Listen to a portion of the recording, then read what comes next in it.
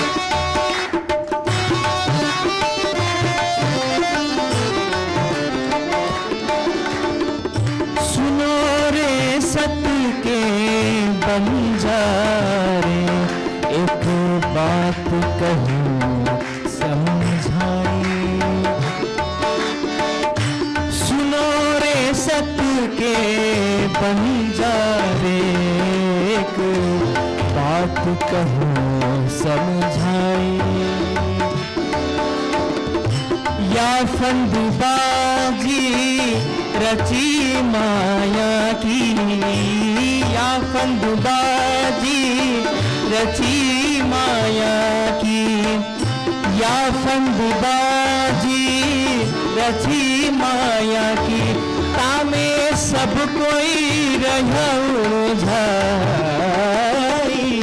सुनो रे सबके बंजारे, एक बात कहूँ सब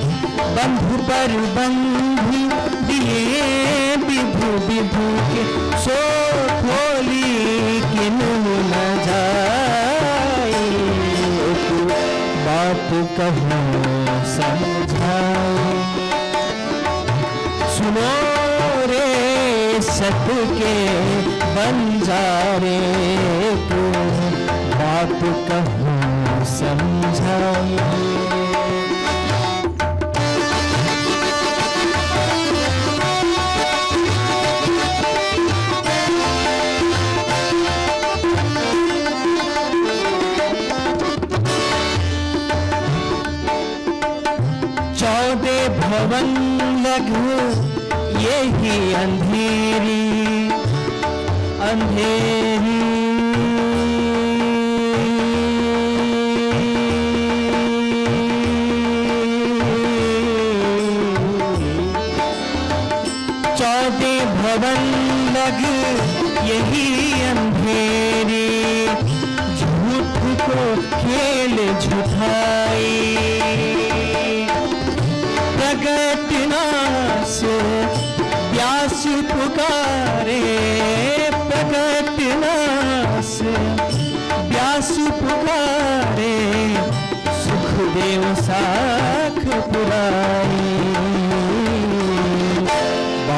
कहूँ सुनो रे सत के बंजारे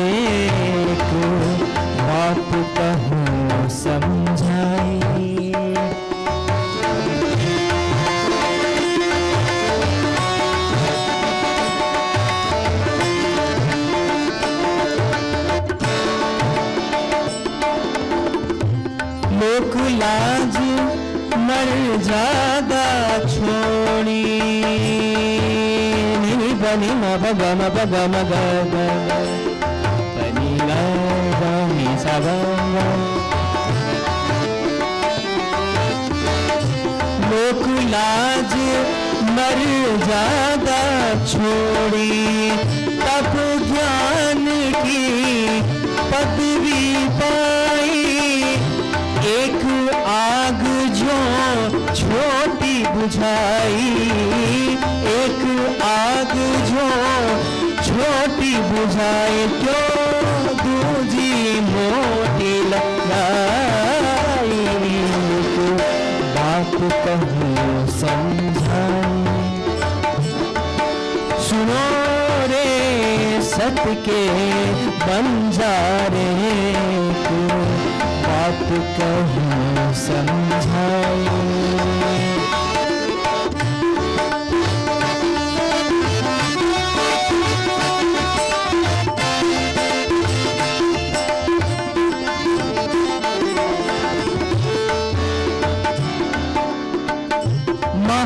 महमत कहे सावचेत होइयो सावचेत होइयो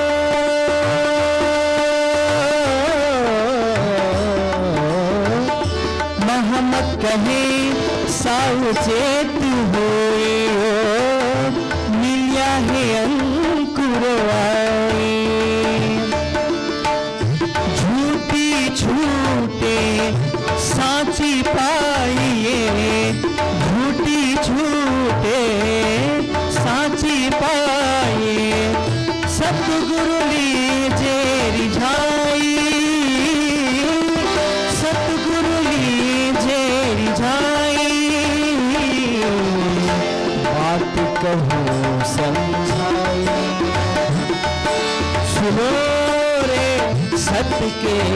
बंजारे एक बात कह समझाई।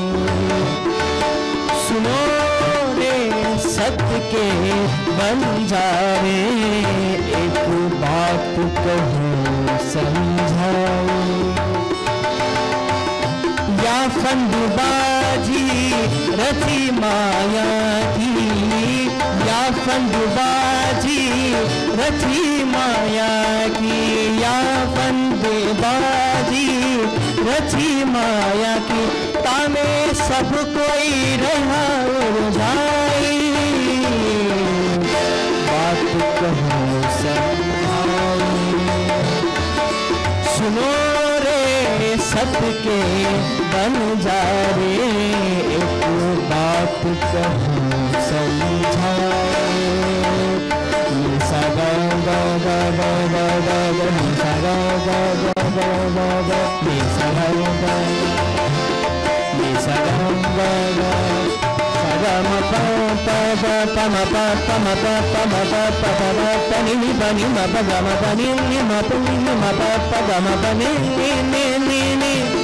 Gama pa ni sa sa sa sa sa ni sa ga ga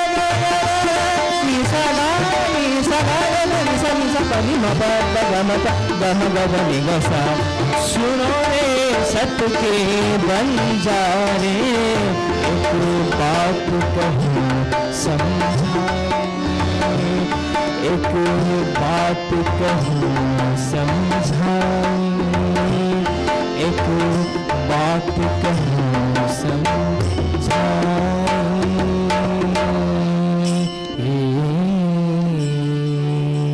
बोलो श्री प्राणनाथ प्यारे की जय।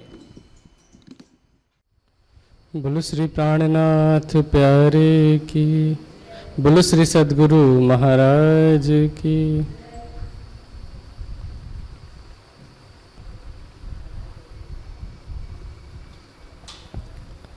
अब मारो काले कुत्ते को, लाठी सिर ऊपर। सेवको आगे तब कहा, मैं खाली कछु ना खबर, मैं खाली कछु ना खबर। तब श्री जी ये सराहिया श्याबास चिंतामन प्रणाम सुंदर साथ जी। प्रणधर सुंदर साथ जी। कल की चर्चा में हमने सुना किस तरह से श्री जी दीप बंदर पहुँचते हैं। दीप बंदर में कैसे जयराम भाई कंसरा और उनके परिवार की जागनी हुई। दो वर्ष तक दीप बंदर में रहने के बाद वहाँ से बाहर निकलने का एक कारण बना कि अरब अरबी लुटेरों ने कुछ सुंदर साथ का अपहरण कर लिया। उनको छुड़ाने के बहाने से श्री जी वहाँ से निकले और वहाँ से निकलने के बाद नवीपुर बंदर, पाटन, मंडे इत्यादि होते हुए श्री जी पहुँचे हैं ठट्ठा नगर। ठट्ठा नगर से वैसे तो चल चुके होते हैं, लाठी बंदर पहुँचते हैं। लाठी बंदर से नाव में विराजमान होकर के आगे के लिए चल देते हैं, लेकिन चूँकि कुछ प्रमुख ब्रह्म सृष्टियों की जागनी अभी हुई नहीं थी तो मूल स्वरूप की ये इच्छा नहीं थी कि आगे जाया जाए। सत्रह दिन तक नाव की यात्रा करने के बाद उल्टा तूफ़ान चला, जिसके कारण नाव पुनः लौट करके लाठी बंदर पहुँचा। तो श्री जी लाठी बंदर में उतरे और वहाँ से चल करके पहुँचे ठट्ठा नगर पुनः, और ठट्ठा नगर में चिंतामणि जी की जागनी हुई। जो कि कबीर पंथ के विद्वान थे, आचार्य थे और उनके हज़ार शिष्य थे। उन्हें किस तरह से कबीर जी की साखी के द्वारा श्री जी ने प्रबोधित किया और उसके बाद किस तरह से उनके अंदर जो ज्ञान का, भले ही अल्पमात्र अहंकार था, लेकिन उस अहंकार को भी समाप्त किया और अभी हमने अंतिम चौपाई में दोहराया कि मारो काले कुत्ते को लाठी सिर ऊपर, सेवकों आगे तब कहा मैं खाली कछु ना खबर। अपने सभी सेवकों के बीच में, शिष्यों के बीच में उन्होंने स्वीकार कर लिया कि मैं तो खाली था। मुझे कुछ भी पता नहीं था। और जब उन्होंने अपनी उस कमी को स्वीकार किया, अपने अहंकार को एक तरफ़ रख करके तो श्री लालदास जी आगे कह रहे हैं तब श्रीजी सराहिया श्याबास चिंतामण, उन्होंने चिंतामणि जी की सराहना की। किस चिंतामणि? तुम्हें श्याबास ही है। क्योंकि उस अवस्था में पहुँचने के बाद हर कोई सार्वजनिक रूप से वो भी विशेष अपने शिष्यों के बीच में कभी भी अपनी गलती को स्वीकार नहीं कर पाता है, अपनी कमी कमज़ोरी को स्वीकार नहीं कर पाता है। लेकिन उन्होंने वाणी के उस प्रकरण को जिसका भी हमने गायन सुना, सुनो रे सत्य के बंजारे। उस प्रकरण को सुनने के बाद चिंतामणि जी ने अपनी कमी को स्वीकार किया। अब श्री जी कहते हैं, पाई ते निस्वत, ए सुकन मोमिन। ऐसे सुकन, ऐसे शब्द तो परमधाम की ब्रह्म सृष्टि ही कह सकती है, क्योंकि उसी के अंदर इस संसार की मैं खुद, इस संसार का अहंकार नहीं होता। अब पूरी पात्रता है चिंतामणि जी के अंदर तो उन्हें तारतम ज्ञान दिया। कह श्री तारतम इनको सब सेवकों समेत। अकेले चिंतामणि जी नहीं, अपितु तो उनके साथ जितने भी उनके शिष्य थे, सभी लोगों ने तारतम ज्ञान ग्रहण किया। और तारतम ग्रहण करते हुए चार बातों का उन्हें परहेज कराया गया। वे चार बातें कौन कौन सी है जिनका हम सबको ध्यान रखना चाहिए अभी वर्तमान में भी और भविष्य में भी। सबसे पहले कहा, एक हराम कया मांस को। अर्थात मांस, मांसाहार निषेधित किया गया, वर्जित किया गया। अध्यात्म के क्षेत्र में आगे बढ़ने पर आहार का बहुत बड़ा महत्व होता है।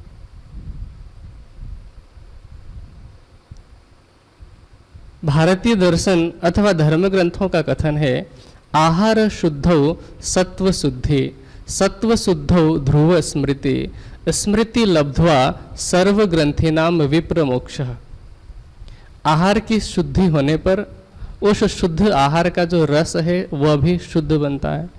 उससे मनुष्य की इंद्रियाँ और इंद्रियों से अंतकरण में उसका प्रभाव जाता है। उससे हमारी बुद्धि पर, स्मृति पर असर पड़ता है। अगर शुद्ध आहार है तो शुद्ध सात्विक असर पड़ेगा और अगर आहार अशुद्ध है, तामसिक आहार है तो उसका भी वैसा ही असर पड़ेगा। इसीलिए तामसिक आहार को वैसे सामान्य रूप से एक योगी साधक के लिए तो रजोगुणी और तमोगुणी दोनों आहार वर्जित किया जाता है। हाँ एक कोई सामान्य मनुष्य है गृहस्थ जीवन में है। रजोगुणी भोजन वह खाता है सामान्य रूप से। गीता के अंदर तीनों प्रकार के भोजन की विवेचना की गई है। गीता में श्री कृष्ण जी ने पहले रज, रजोगुणी भोजन के विषय में बताया कि कटु, अम्ल, लवण, अति उष्ण, रुक्ष तीक्ष विदाहिना, आहार राजस्येष्टा दुख, शोक, भयप्रदा। अत्यधिक कड़वा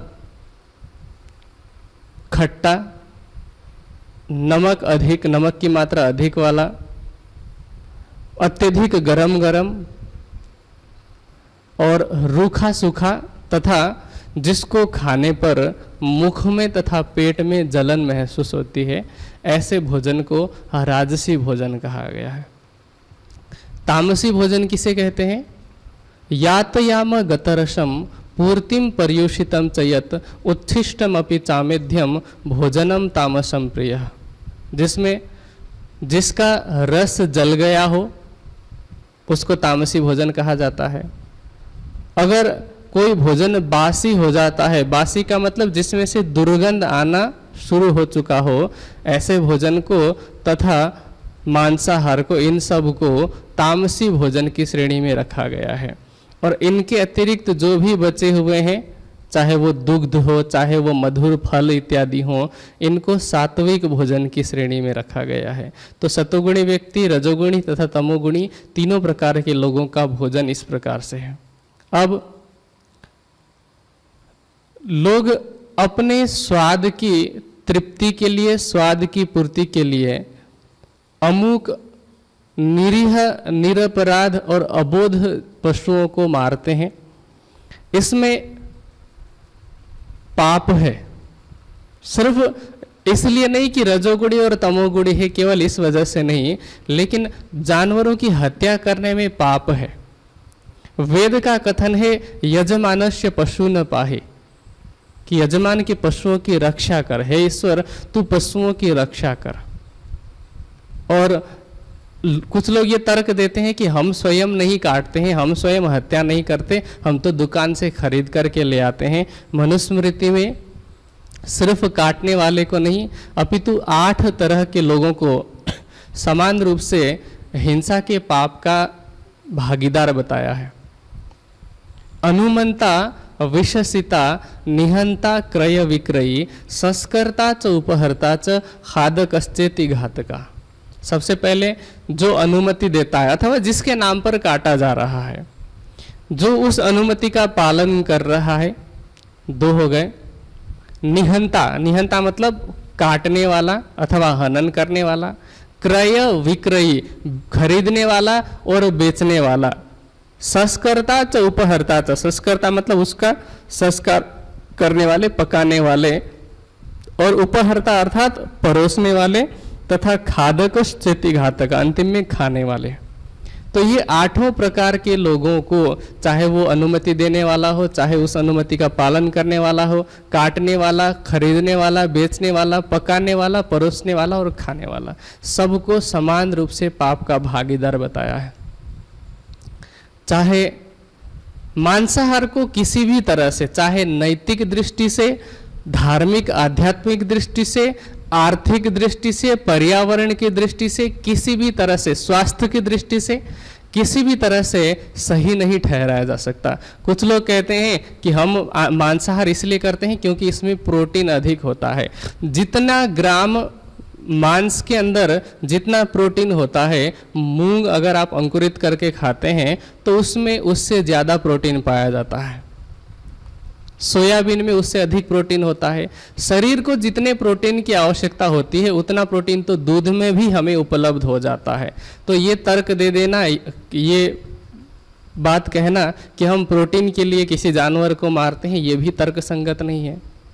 अगर आप पर्यावरण की दृष्टि से देखते हैं तो पर्यावरण की दृष्टि से भी मांसाहार को आजकल के जितने भी बड़े बड़े वैज्ञानिक हुए हैं, उन सबने मना किया है। और उनका कहना ये है कि अगर आज चल रहा है 2020 2030 तक अगर विश्व के 70 प्रतिशत लोग भी शाकाहार को अपनाते हैं, मांसाहार को छोड़ देते हैं तो ऐसी अवस्था में 80 से 90 प्रतिशत तक ग्लोबल वार्मिंग को और जो ग्रीन हाउस गैस उत्सर्जित होती है उन सब गैसों के उत्सर्जन को, उस वृद्धि को रोका जा सकता है, जिसके द्वारा हमारे पृथ्वी की ओजोन परत में, ओजोन लेयर में धीरे धीरे करके छिद्र बन रही है, उस दुर्घटना को टाला जा सकता है। आर्थिक दृष्टि से शोधकर्ताओं का कहना यह है, आर्थिक दृष्टि से इसलिए भी, क्योंकि एक किलो मांस के उत्पादन में ऐसा बताया जाता है कि लगभग पचास हज़ार लीटर पानी की बर्बादी होती है, क्योंकि एक जानवर को मांस देने योग्य बनाने के लिए उसको अनाज खिलाया जाता है। उसके लिए, उन अनाज के लिए कितने पानी की बर्बादी होती है? तो इस तरह से पचास हज़ार लीटर पानी एक लीटर मांस के लिए बर्बाद किया जाता है।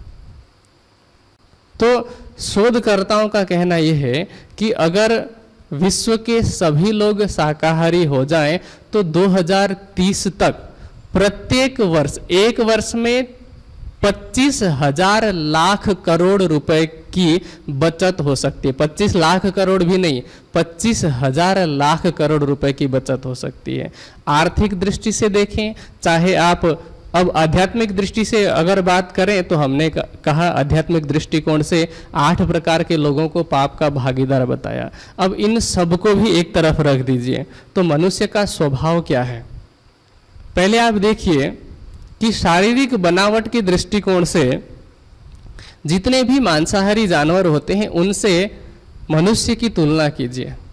मांसाहारी जानवरों की जो दांत हैं वे दांत लंबे लंबे होते हैं ताकि वो मांस को चीर सकें अथवा उसको चबा सकें।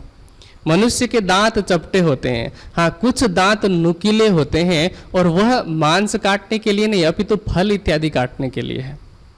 मनुष्य की जो आते हैं, वे स्वभावतः अन्य मांसाहारी प्राणियों की अपेक्षा लंबी होती है, ताकि खाए गए सात्विक भोजन को आराम से धीरे धीरे करके पचाया जा सके। और चूँकि मांस में ऐसे हानिकारक द्रव्य होते हैं, ऐसे हानिकारक पदार्थ होते हैं, जो शरीर में अधिक समय पर, अधिक समय तक रहने पर शरीर को नुकसान पहुंचाते हैं। इसलिए मांसाहारी प्राणियों की आते मनुष्य की अपेक्षा अथवा शाकाहारी प्राणियों की अपेक्षा अधिक छोटी होती हैं, जिससे कि वो मांस जल्दी से जल्दी बाहर निकल सके। तो शारीरिक बनावट की दृष्टि से भी मनुष्य मांसाहारी नहीं है। एक उदाहरण के लिए, कल भी मैंने एक उदाहरण दिया था कि मनुष्य स्वभावतः शाकाहारी होता है। आप कहीं पर जा रहे हैं किसी जगह पर तो आप अगर किसी जीवित जानवर को देखेंगे, जिसका आप मांस खाते होंगे, जीवित जानवरों जानवर को आप देखें और आपके सामने एक सेव का पेड़ है। आपको सेव खाने की इच्छा होगी अथवा उस जानवर को खाने की इच्छा होगी। स्वाभाविक है कि मनुष्य सेव खाने की इच्छा करेगा। मांस वो कब खाता है? उदाहरण के लिए, मनुष्य के अंदर मांसाहार की प्रवृत्ति बढ़ाने के लिए लोगों ने क्या किया? क्योंकि उनका व्यापार अपने इन होटल्स के माध्यम से चल रहा है तो इन्होंने एडवर्टीजमेंट में वो चिकन कहा करते हैं अथवा मटन कहा करते हैं या फिर बीफ कहते हैं। ऐसा कहने पर मनुष्य के हृदय में करुणा सामान्य रूप से नहीं जग पाती है। लेकिन अगर कोई ये कहे कि आप गाय खाओगे, चिकन और मटन के जगह पर मुर्गी और बकरी ऐसे शब्दों का प्रयोग किया जाए तो स्वाभाविक रूप से उसके सामने उस जानवर की छवि आएगी और ऐसा करने से मनुष्य के अंदर करुणा का उत्पन्न होना स्वाभाविक है। आज विश्व में विभिन्न प्रकार की धार्मिक मान्यताएँ हैं, विभिन्न संप्रदाय हैं, विशेष रूप से हिंदू, मुस्लिम, सिख है, ईसाई है, बौद्ध है, जैन है, लेकिन जितने भी धर्म ग्रंथ हैं, वैसे तो ईसाई और इस्लाम मत के अनुयायी कहते हैं कि हमें तो मांस खाने की अनुमति है, उसके विषय में बाद में वर्णन करते हैं। हिंदू मत में भी, हिंदू मत में तो वेद में स्पष्ट रूप से पशुओं की रक्षा के लिए कहा गया है। वेद में कहीं पर भी पशुओं की हत्या के लिए नहीं कहा है। हिंदू मत में स्पष्ट रूप से शाकाहार को बढ़ावा दिया गया है। मांसाहार करने वाले को पाप का भागीदार बताया है। सिख मत कोई अलग से मत है ही नहीं। वह तो हिंदुत्व की रक्षा के लिए खड़ा किया गया एक संगठन था। तो उसमें भी संतों ने यह कहा है कि जो सच्चा सिख होगा, जो सच्चा शिष्य होगा, वो मांस और मदिरा के निकट भी नहीं जाएगा। उन्होंने स्पष्ट रूप से वर्जित किया गया। जैन धर्म चूँकि इसकी तो स्थापना ही अहिंसा के आधार पर हुई थी तो जैन मत में मांस मछ मांस मछली इनको तो छूना भी पाप बताया है। बौद्ध मत, वैसे तो गौतम बुद्ध ने सूत्र ही ये दिया था, अहिंसा परमो धर्म।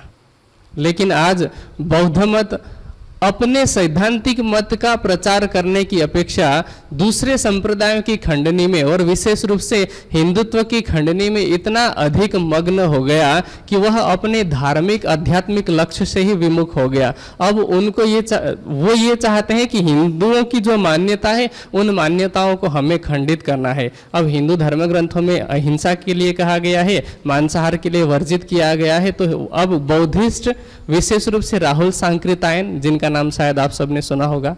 अथा तो घुमक्कड़ जिज्ञासा नाम का एक ग्रंथ उन्होंने लिखा है। वो तो ये दर्शाने का प्रयास करते हैं कि मांसाहार पहले भी होता था, महाभारत काल में भी गायों की बलि दी जाती थी तो मांसाहार करने में कोई बुराई नहीं है। और आजकल तो जितने भी बौद्धिस्ट देश हैं, उन देशों में बैलों को गायों तक को मार करके खाया जाता है।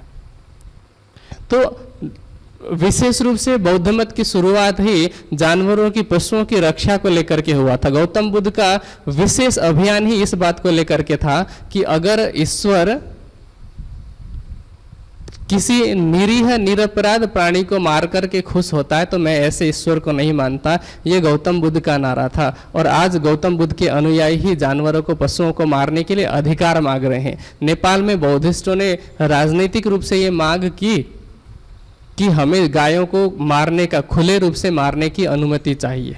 और ऐसी मांग तो वहाँ के मुस्लिमों ने भी नहीं की है अब तक।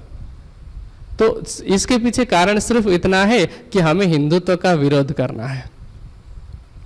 तो ये हो गए मुख्य संप्रदायों की बात, धार्मिक रूप से। ईसाई मत और इस्लाम मत के विषय में दोनों मतों के अनुयायी ये कहते हैं कि नहीं, हमारे धर्म ग्रंथों में तो जानवरों को खाने के लिए लिखा है। बाइबल में दो तरह की बातें हैं। हम कुरान पे बाद में आएँगे।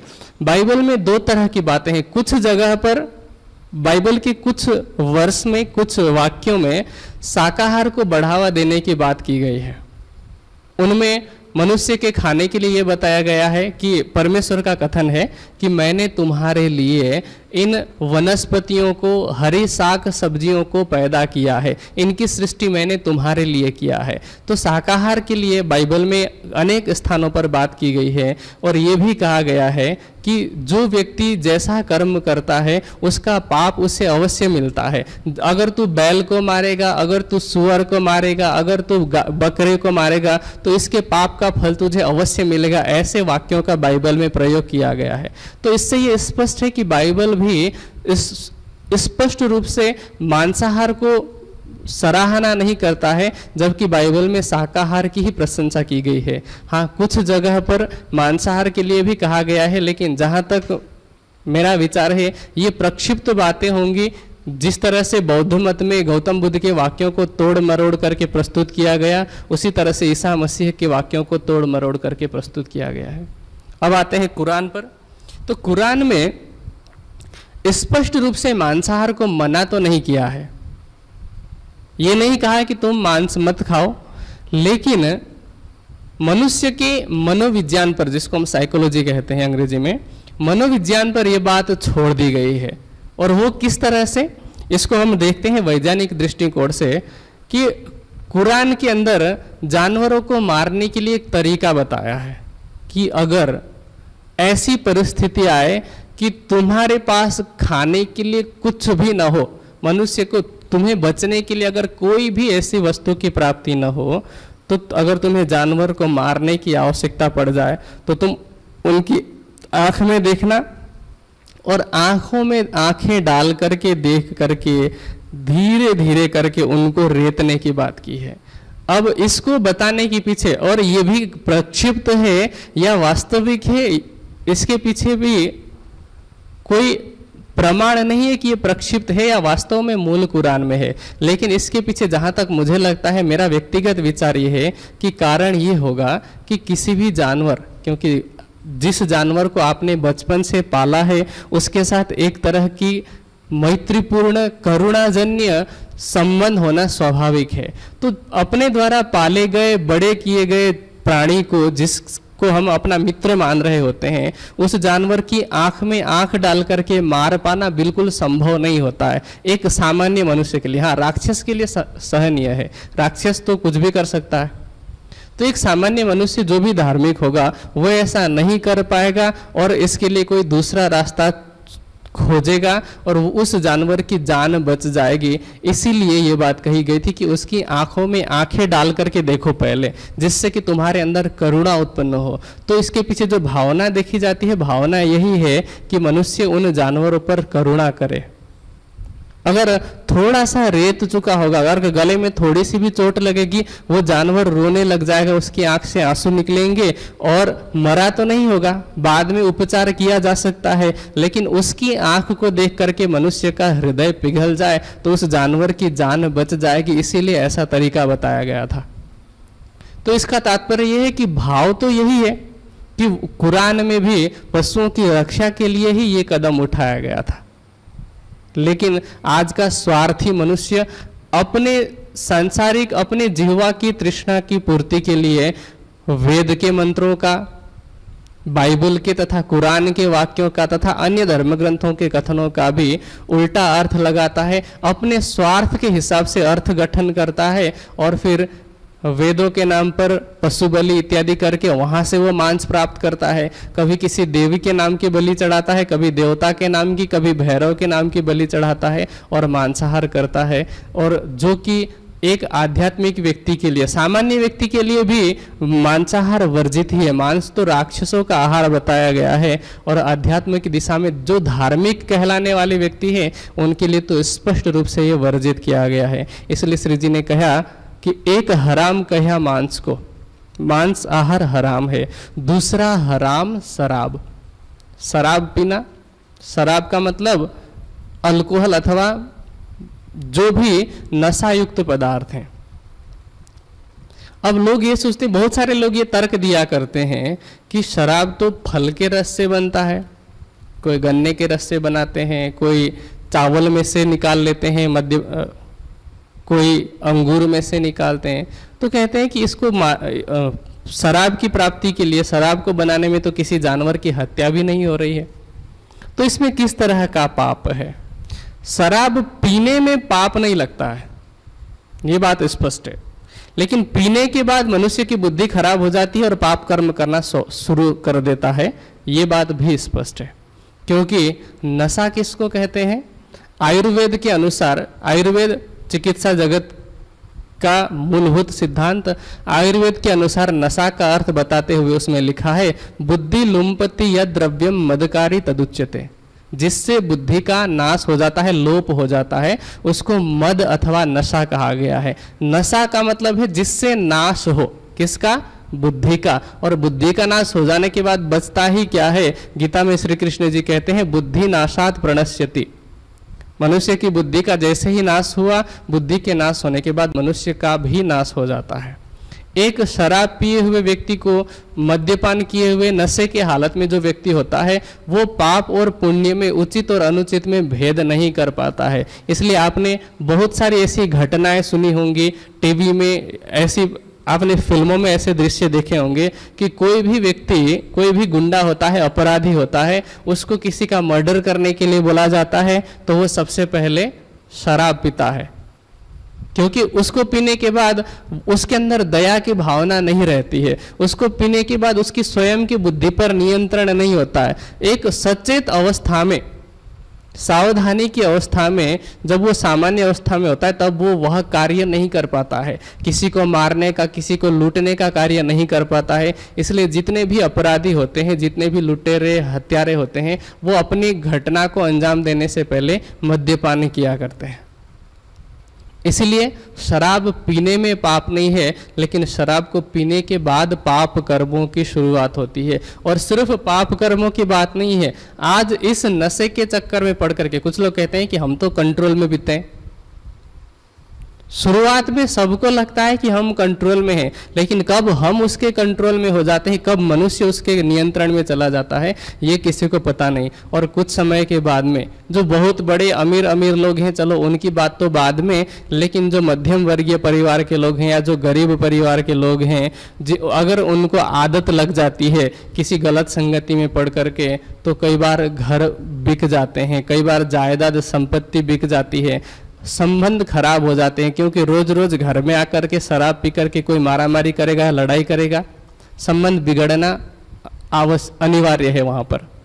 फिर बच्चे बिगड़ जाते हैं माता पिता की देखा देखी बहुत सारी ऐसी घटनाएँ हैं जिसमें माता पिता के रहते रहते उनकी जानकारी में ये बात आती है कि उनके बच्चों ने शराब पीना, सिगरेट पीना शुरू कर दिया है।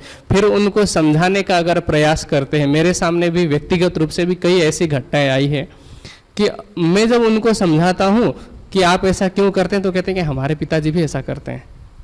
हमारी माँ भी ऐसा करती हैं। आज भारतीय संस्कृति, भारतीय सभ्यता पाश्चात्य सभ्यता और संस्कृति के चक्र में पढ़ करके, उसके दुष्चक्र में पढ़ करके, फ़िल्मों की देखा देखी फ़िल्मों में जो एक्टर किया करते हैं, उनका नकल करके, लोग चुपके चुपके पीना शुरू कर देते हैं, चाहे वो स्मोकिंग हो, चाहे वो मद्यपान हो।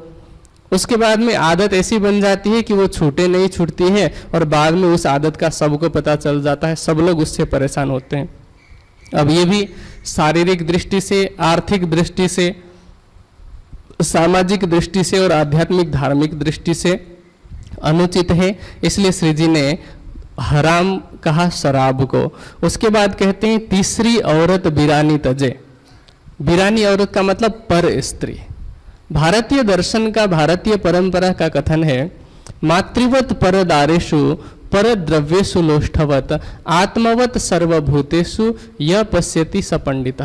जो पराय स्त्री को माता के रूप में देखे पराय धन को मिट्टी के रूप में देखे और सभी प्राणियों में अपने जैसी चेतना को देखे तो वास्तव में वही पंडित है।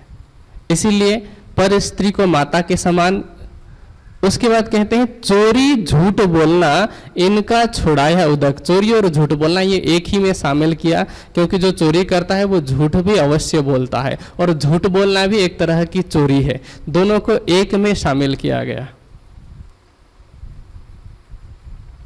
क्योंकि चोरी तीन प्रकार से होती है तन से मन से और वचन से। तो झूठ बोलना वचन की चोरी है। अगर हम किसी का धन उठाते हैं वो शरीर की चोरी है। तो इसीलिए चोरी और झूठ बोलना इस, इसको एक ही लक्षण में शामिल किया गया एक ही परहेज में। तो पहला परहेज था मांस का दूसरा परहेज कराया शराब का तीसरा इस बात का परहेज कराया कि पर स्त्री को अपनी पत्नी के अलावा और अन्य स्त्रियों को माता के रूप में देखना है और चौथी बात का परहेज कराया, चोरी करना और झूठ बोलना इन बातों का। क्योंकि आध्यात्मिक दिशा में आगे बढ़ने के बाद अगर हमारे अंदर वही संस्कार हैं चोरी करने के, झूठ बोलने के तो हम उस दिशा में आगे नहीं बढ़ सकते। धर्म ग्रंथों का कथन है हमारे साधुओं ने कहा, सांच बराबर तप नहीं, झूठ बराबर पाप। जाके हृदय सांच है, ताके हृदय आप। वाणी का कथन है, साचारी साहेब सांच सो पाइए, सांच को सांच है प्यारा। परमात्मा स्वयं सच्चिदानंद है। सच्चिदानंद में पहला शब्द ही सत्य है। तो सत्य परब्रह्म को, साचे परब्रह्म को पाना है तो हमारे हृदय में भी सत्य का प्रकाश होना आवश्यक है। इसलिए जो भी अध्यात्म की दिशा में आगे बढ़ना चाहते हैं, उनके लिए चोरी करना, झूठ बोलना, इन सबको परित्याग करना आवश्यक है। क्योंकि हम चोरी और झूठ किससे? कहते हैं, तन की जाने, मन की जाने, दिल की जाने चोरी। उस साहेब से क्या छिपाना, जिसके हाथ में डोरी। तो हम लोहे की सात दीवालों के अंदर रह करके भी कोई अगर कार्य करते हैं, परब्रह्म जो कि आपके ही हृदय में विराजमान है, सत्ता की दृष्टि से जो प्रत्येक कण में विराजमान है, वह तो देख ही रहा है। इसलिए इन सब बातों का परहेज कराया। अब चिंतामणि जी कहते हैं, अब हम कबहू ना करे, हम पाया बेशक हक, अब हम आगे से कभी भी ऐसा कार्य नहीं करेंगे, क्योंकि हमें अक्षरातीत का बेशक संशय से रहित होने वाला ज्ञान प्राप्त हुआ है। तारतम ज्ञान सबने ग्रहण किया है। और इस प्रसंग से सभी सुंदर साथ को एक बात सीखनी चाहिए कि तारतम देने का ये पहला प्रसंग है। इससे पहले कहीं वर्णन नहीं आता कि किसी ने तारतम ज्ञान सुना हो अथवा किसी ने सुनाया हो। और इस प्रसंग में भी कहीं पर यह वर्णन नहीं कि श्री जी ने उन शिष्यों के कान में तारतम मंत्र फूका था। हज़ार लोग थे हज़ार लोगों को एक साथ तारतम दिया जा रहा है तो हज़ार लोगों के कान में कब तक फूंकते रहेंगे? कई दिन लग जाएँगे उसमें तो पूरा तारतम मंत्र बोलने में। तो तारतम पहली बात तो सामान्य रूप से ऐसा मंत्र नहीं है कि दुनिया के लोग सिद्धि प्राप्त करने के लिए कुछ मंत्र का संकल्प किया करते हैं, पाठ किया करते हैं, ऐसा कोई मंत्र नहीं है। यहाँ मंत्र का तात्पर्य है, मननात् इति मंत्र है जिसका मनन चिंतन किया जाए। और तारतम यहाँ वैसे सिर्फ़ छह चौपाइयों से नहीं है। परंपरागत दृष्टि से दीक्षा देते हुए, किसी संप्रदाय में दीक्षित होते हुए कोई ज्ञान की वो सूत्र रूप बातें बताई जाती थी, जिनको मंत्र की संज्ञा दी जाती थी। तो परंपरागत रूप से छह चौपाइयों को तारतम की संज्ञा दी है। अन्यथा वाणी की संपूर्ण अठारह हज़ार सात सौ अंठावन चौपाइयाँ सभी तारतम का ही रूप है। वाणी का कथन है, तारतम का जो तारतम, अंग इंद्रावती विस्तार पेड़े दिखावे पार के, तीन पार के भी पार। तारतम का भी जो तारतम है, जिसका विस्तार इंद्रावती जी के हृदय से हुआ है तो वह संपूर्ण वाणी है। तो इस प्रसंग से हम सभी सुंदर सात को और जितने भी महात्मा, जितने भी महाराज, जितने भी गादीपति, इस बात को कहते हैं कि हमें तारतम सबके सामने उच्चारित नहीं करना चाहिए और सब लोग इसके लायक नहीं होते। सबसे पहली बात तो ये है कि चलिए लायक नहीं होते, बात मानते हैं।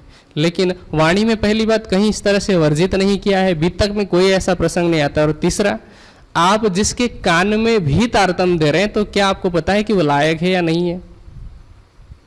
आपको कैसे पता चला कि उसके अंदर वो गुण, वो काबिलियत आ चुकी है कि आप उसके कान में तारतम मंत्र दे सकते हैं? जब कान में उसको सुनाया जा सकता है वही मंत्र, उसकी अवस्था वैसी ही रहते हुए तो फिर स्पष्ट रूप से उच्चारण करके क्यों नहीं सुना सकते? और आज अगर साहित्य उपलब्ध ना हो, जिनमें लिखित रूप से तारतम हमारे पास है, अगर ऐसा ना हो तो तारतम लिए हुए 100 प्रतिशत लोगों में से 80 प्रतिशत ऐसे होंगे जिनको तारतम याद भी नहीं होंगे चौपाइयाँ। उनको ये भी पता नहीं होता कि कान में क्या बात कह दी गई है। और कबीर जी कहते हैं कि कान में तारतम फूकना, कान में कुछ फूकने से तो कान में गए हुए जो कीड़े होते हैं वो बाहर आ सकते हैं, धूल साफ़ हो सकती है, लेकिन हृदय उसका साफ़ नहीं हो सकता, जीव उसका निर्मल नहीं हो सकता, कबीर जी का कथन है। तो इसलिए इस प्रसंग से हमें ये शिक्षा लेनी चाहिए। अब आगे चर्चा का क्रम आगे बढ़ता है, सुंदर साथ की आमदनी होने लगती है, आगमन होने लगता है, और उनमें एक सुंदर साथ होते हैं चतुरापोह करना श्री जी की सेवा में है, और श्री जी की विशेष रूप से वो श्री जी को दूध पहुँचाने की सेवा करते हैं, और इसी क्रम में, श्री जी की सेवा के क्रम में वो चर्चा सुनने लगते हैं, और चर्चा में वो देखते हैं कि श्री जी ब्रज और रास की लीलाओं का वर्णन कर रहे हैं। और ब्रज तथा रास की लीला का वर्णन सुन के उनको आश्चर्य होता है कि आज दिन तक तो हमने ऐसा ज्ञान कहीं भी नहीं सुना था। उनकी सोहबत, उनकी संगति थी लक्ष्मण सेठ से, जिनका दूसरा नाम था लालदास। जिनके द्वारा लिखी गई बीतक का आज हम पाठ कर रहे हैं अथवा जिनकी चर्चा कर रहे हैं। तो अब उनकी जागनी का प्रसंग बता रहे हैं, उस जागनी की भूमिका बाँध रहे हैं कि चतुरा पोह करना जिनकी संगति लालदास जी से थी, वे उनके पास गए क्योंकि दूध पहुँचाने की उनकी सेवा थी। वो काम करते थे तो उनको भी दूध पहुँचाने शायद जाते होंगे क्योंकि वह सेठ थे। और निन्यानबे जहाजों से उनका व्यापार चला करता था। एक दिन वहाँ जाकर के चतुरा पोह करना ने पूछा कि, सेठ, तुम तो भागवत पढ़ा करते हो, भागवत के विद्वान हो। तुम ये बताओ कि जिस ब्रज की बात करते हैं, रास की बात करते हैं, और भागवत में ये भी लिखा है कि रास तो अखंड मंडल में हुई थी, अखंड मंडलम रमान नाभम जिसके लिए कहा गया है। तो वो रास तथा ब्रज कहाँ अखंड है? लालदास जी ने कहा कि ब्रज और रास अखंड तो है, लेकिन वहाँ तक हमारी दृष्टि नहीं पहुँच सकती है। उसके लिए तो ये चर्म चक्षु चर्म चक्षु मतलब इस आँख से इन बाहरी आँखों से देख पाना संभव नहीं है। उसके लिए तो हमें दिव्य दृष्टि की आवश्यकता पड़ती है। अब चतुरापोह करना कहते हैं कि आपको दिव्य दृष्टि कब मिलेगी? ऐसा क्या करना चाहिए जिससे कि दिव्य दृष्टि की प्राप्ति हो? क्योंकि पाँच तत्व, तीन गुण और चौदह लोग के ब्रह्मांड का तो आप भागवत के आप विद्वान हैं, आप उसका नाश कहते हैं। तो बताइए कि अखंड ब्रज और रास कहाँ पर रहेंगे? अगर आप ये कहते हैं कि इसी संसार में अखंड और दिव्य दृष्टि से उनको देखा जा सकता है तो भी जब इनका नाश हो जाएगा महाप्रलय में तो ऐसी अवस्था में वे अखंड रास और ब्रज कहाँ पर जाएँगे? अब लालदास जी चौंक गए और उन्होंने पूछा कि आपने ये बात कहाँ से सुनी? तो चतुरापोह ने, ने कहा कि एक साधु आए हुए हैं। और उनके वहाँ पर ऐसी चर्चा होती है। अखंड ब्रज और अखंड रास की जोरदार चर्चा होती है। अब लालदास जी को इच्छा हुई कि हम हम भी जा कर के उनसे मिलें। लालदास जी ने कहा, मुझे भी आप लेकर के चलिए। चतुरा ने कहा कि जब तक उनकी अनुमति नहीं होगी श्री जी की, तब तक मैं आपको लेकर नहीं चल सकता। चतुरा ने आकर के श्री जी से पूछा कि, श्री जी साहब, एक लालदास हैं लक्ष्मण नाम है उनका वो आपसे मिलना चाहते हैं आपकी चर्चा सुनना चाहते हैं। अब कुछ लोग जो ला, लालदास जी अथवा लक्ष्मण सेठ जी की उपलब्धि से ईर्ष्या रखते थे उन्होंने मना किया कि आप उनको मत बुलाइए अपने यहाँ लेकिन उनके अंदर तो परम धाम की आत्मा है जागृति होनी है। श्री जी ने कहा कि आप उन्हें बुला करके ले आइए। चतुरा गए लालदास जी को बुलाया अब प्राप्त अनुमति के अनुसार लालदास जी आए और देखते ही उन्होंने उनके हृदय में सुख उत्पन्न हुआ। एक लौकिक भाव से देखने पर भी सच्चे साधु की जो पहचान है, किरंतन की वाणी में बताया गया कि जेणे दर्शने नेत्र ठरे, अने वचन कहे ठरे अंग, अनेक विघन जो उपजे, पण मुकिए नहीं साध संग, जिनके दर्शन से ही नेत्रों में शीतलता आती है। और जिनके शब्दों को सुन करके अंग अथवा हृदय में ठंडक पहुँचती है, अनेक बाधाओं के आने पर भी हमें ऐसे साधु की संगति नहीं छोड़नी चाहिए। अभी तो उनको अलौकिक स्वरूप की पहचान नहीं हुई है, राज्य के स्वरूप की पहचान नहीं हुई, लेकिन उनको देखते ही सुख उत्पन्न हुआ। मन में जो कुफलत थी, मन में जो अंधकार था, वो समाप्त हुआ। अब ब्रज की चर्चा श्री जी ने की। श्री लालह जी कहते हैं स्वयं कि भई चर्चा सब ब्रज की, देखी सुनी सब कान, तब आए ईमान की, होए गई पहचान। अब उन्हें पहचान हो गई, लेकिन पूर्ण रूप से अभी भी पहचान नहीं हुई है। सिर्फ़ उनको इस बात की पहचान हुई है कि इनका ज्ञान सर्वोत्तम है। ये ज्ञान सत्य है, इस ज्ञान को हमें आत्मसात करना चाहिए, लेकिन अभी स्वरूप की पहचान नहीं हुई है। स्वरूप की पहचान आगे होती है चार घड़ी उन्होंने वहाँ पर चर्चा सुनी पहले। चार घड़ी मतलब डेढ़ घंटा। चार घड़ी चर्चा सुनने के बाद अपने घर में गए और घर में ही कुछ दिन के लिए रहे। अब उसके बाद दो चार बार चर्चा सुनी, वापस घर गए। इतने में ज़िंदा दास, जो कि उनके ही बगीचे में माली का काम किया करते थे और श्री जी से चर्चा सुनते थे, वो तो सुंदर साथ थे पहले से ही। ज़िंदा दास जी ने लालदास जी से चर्चा की। और चर्चा करते करते उन्होंने एक दृष्टांत दिया मार्कंडे ऋषि का। मार्कंडे ऋषि के दृष्टांत को इस तरह से बताया जाता है। उनके दृष्टांत दो अलग अलग ग्रंथों में अलग अलग रूप में लिखा गया है। भागवत में भी है और मार्कंडेय पुराण में भी है। लेकिन दोनों में थोड़ा सा भेद है। कुल मिलाकर के मैं दोनों में से एक ही दृष्टांत देता हूँ, लेकिन हाँ दोनों दृष्टांतों का सार एक ही है। कि मार्कंडे ऋषि तपस्या कर रहे थे और तपस्या करते करते उनके मन में ये इच्छा उत्पन्न हुई थी कि मुझे माया को देखना है, मुझे माया के विषय में जानना है। तो उन्होंने जब तपस्या की और उन्हें नारायण का दर्शन हुआ। जब नारायण का दर्शन हुआ तो उन्होंने सोचा कि मैं प्रभु जी को चंदन करूँ, तिलक करूँ। चंदन करने के लिए उन्होंने पत्थर में चंदन को रगड़ा। आजकल तो बना बनाया वो पाउडर उपलब्ध होता है, वो भी नकली होता है, ऐसा नहीं। आज भी कई मंदिरों में चंदन की लकड़ी होती है, उसको रगड़ करके तिलक किया जाता है। तो उन्होंने भी पत्थर में चंदन रगड़ा। चंदन रगड़ते रगड़ते, एक एक बार रगड़ने में, अर्थात एक उस पत्थर में, एक चक्कर लगाने में कितना समय लगता है? लगभग एक सेकंड। इतने अल्प समय में क्या हुआ? वो चंदन रगड़ रहे हैं, लेकिन अचानक से उन्होंने एक ऐसा दृश्य देखा कि हर तरफ़ वर्षा हो रही है और बाढ़ आई हुई है। बाढ़ में बहते हुए उन्होंने स्वयं को देखा कि वो बाढ़ में बह रहे हैं, लेकिन स्वयं को एक महिला के रूप में देखते हैं, एक स्त्री के रूप में। बहते हुए गए एक समुद्र जैसे स्थान पर हर जगह पानी ही पानी था वहाँ पर एक धोबी ने उनको देखा, उन्होंने धोबी को देखा, धोबी ने पानी में छलांग लगाई और उनको पानी से बाहर निकाल दिया। अब उस धोबी के साथ में उस महिला का विवाह हुआ। अभी उस, उनको पता नहीं, उस महिला को पता नहीं कि मैं मार्कंडे ऋषि हूँ और मैंने तपस्या की थी, कुछ पता नहीं, क्योंकि अब तो वो अपने अपने आप को महिला के रूप में ही देख रहे हैं। तो अब उस महिला के साथ में धोबी का विवाह हुआ। विवाह होने के बाद कुछ वर्ष व्यतीत हुए। तो एक बच्चा हुआ।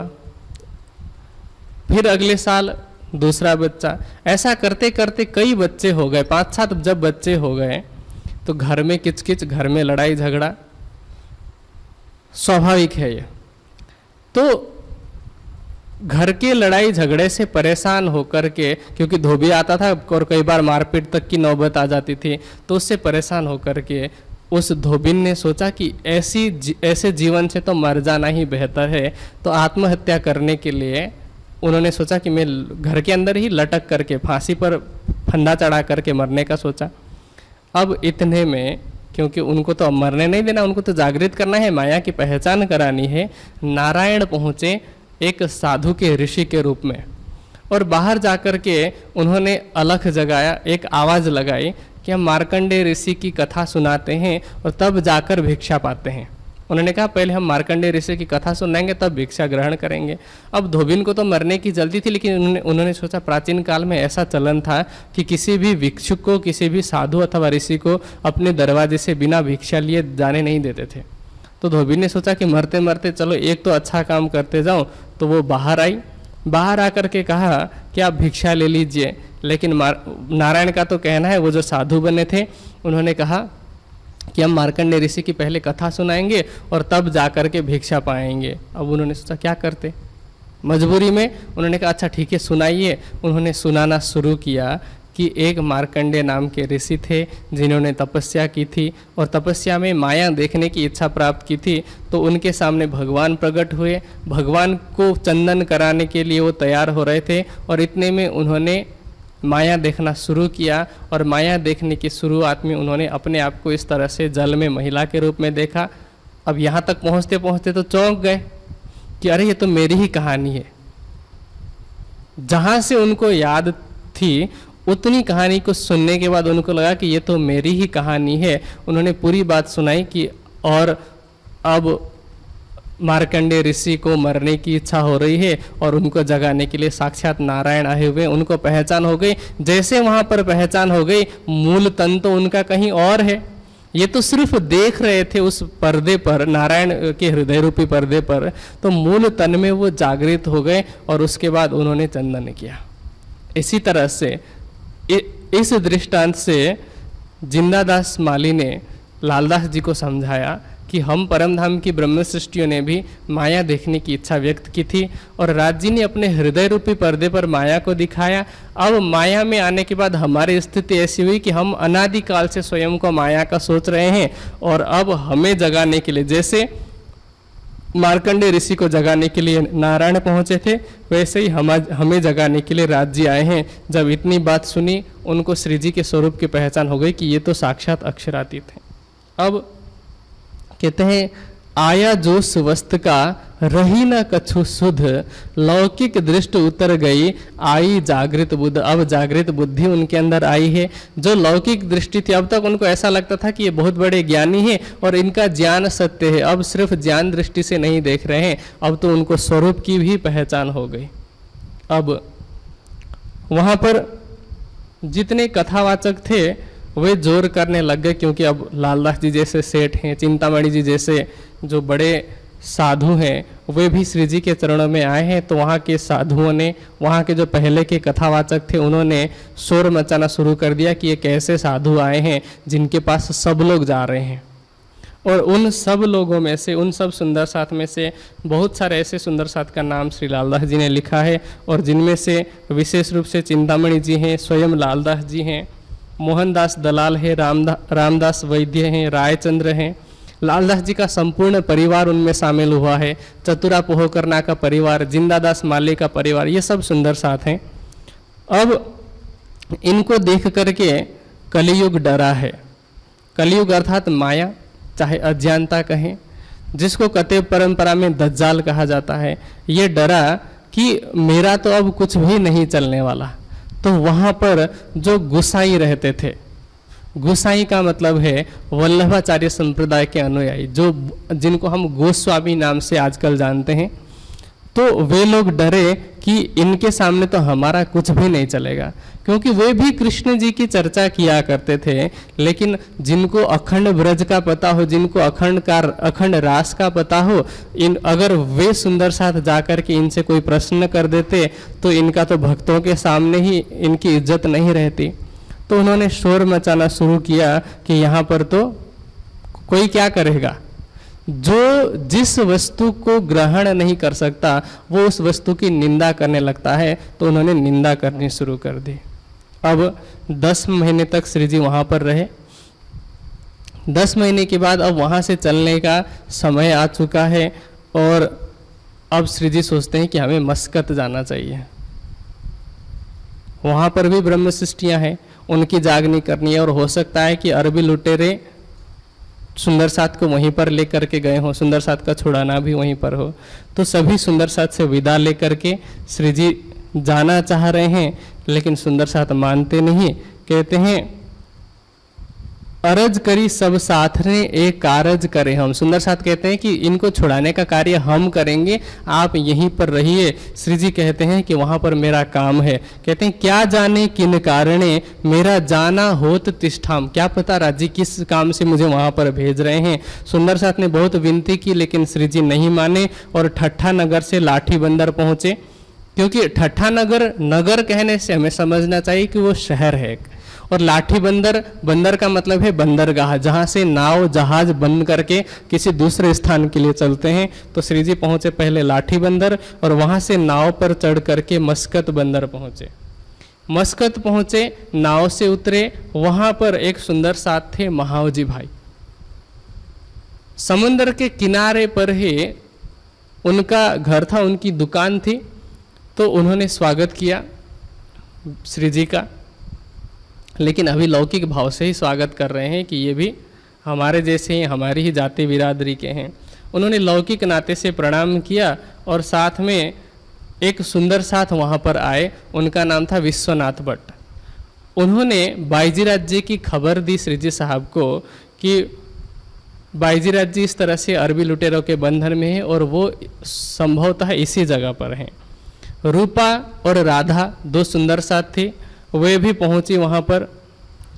क्योंकि अब तक बहुत सारे ऐसे सेठ साहूकार थे जिन्होंने जाति के नाम पर, बिरादरी के नाम पर, वैसे तो सभी सुंदर साथ ऐसे नहीं थे कि धंधे करके उनको छुड़ा सकें, लेकिन बहुत सारे सेठ साहूकारों ने अपने जाति के नाम पर, सेवा के नाम पर, दान पुण्य कमाने के नाम पर बहुत सारे लोगों को छुड़ा दिया था। रूपा और राधाबाई भी उन्हीं में से एक थी जो अरबी लुटेरों के बंधन में थी, लेकिन वो छूट गई थी, वे आकर के मिली।